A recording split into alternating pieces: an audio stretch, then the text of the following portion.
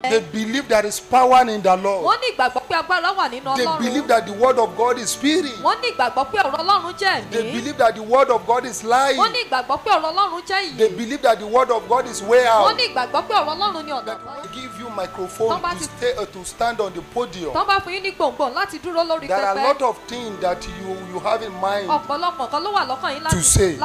But immediately that they gave you the microphone. Because the word is not settled in your heart gbígbà ọ̀rọ̀ náà kò kalẹ̀ nínú ayé mi. you will find it difficult to quote some chapters in the Bible. kò ní rọrùn fún yín láti lè sọ àwọn ẹsẹ̀ bíbélì lórí. this is where the problem lies. ibi tí wàhálà wà gangan rèé. many people want to follow God. ọ̀pọ̀lọpọ̀ ló fẹ́ tẹ̀lé Ọlọ́run. many people want to do the will of the Lord. ọ̀pọ̀lọpọ̀ ló fẹ́ ṣe Ọlọ́run. in fact many people want to attack Satan. ọ̀pọ̀lọpọ̀ ló fẹ́ bá Satan they have the confidence. wọ́n ní ìgboyà yẹn. they believe there is power in the Lord. wọ́n ní ìgbàgbọ́ pé agbára wà nínú Ọlọ́run. they believe that the word of God is spirit. wọ́n ní ìgbàgbọ́ pé ọ̀rọ̀ Ọlọ́run jẹ́ ẹ̀mí. they believe that the word of God is life. wọ́n ní ìgbàgbọ́ pé ọ̀rọ̀ Ọlọ́run jẹ́ ìyè. they believe that the word of of God is way out. wọ́n ní ìgbàgbọ́ pé ọ̀rọ̀ Ọlọ́run ni ọ̀nà àbáyọ. that when they want to challenge Satan. ṣùgbọ́n nígbà tán bá fẹ́ pe Sátánì níjà. by the time they rose. nígbà tán bá dìde dúró. the word in their mind. ọ̀rọ̀ tó wà nínú ọkàn wọn. they won't they won't remember again. wọn ní rántí mọ́. because that word is not set. torí pé ọ̀rọ̀ náà kò kalẹ̀. the word has to be set in your mind. ọ̀rọ̀ yẹn gbọ́dọ̀ kalẹ̀ nínú ọkàn Bible say forever o your word is set in heaven. in heaven as the word is settled in heaven. bí ọ̀rọ̀ it's supposed to settle in your own heart. until the word settle in your own heart.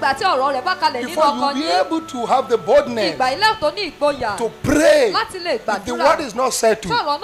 you will be praying. ẹ you be saying just one one word. ọ̀rọ̀ even the word you are saying. you won't have the understanding.